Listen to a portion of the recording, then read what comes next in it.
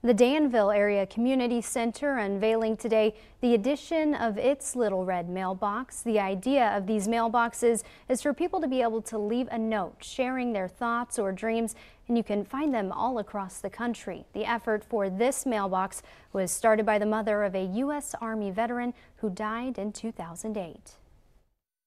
I think it's non-confrontational. It's simple. It's a safe place and it can be anonymous.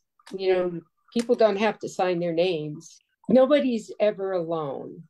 Sometimes you go through things and you think you're the only one who's gone through it or the only one to experience it.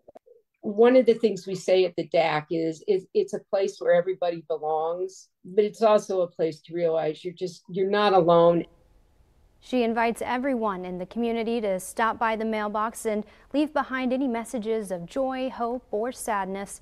You can find it in the building's lobby.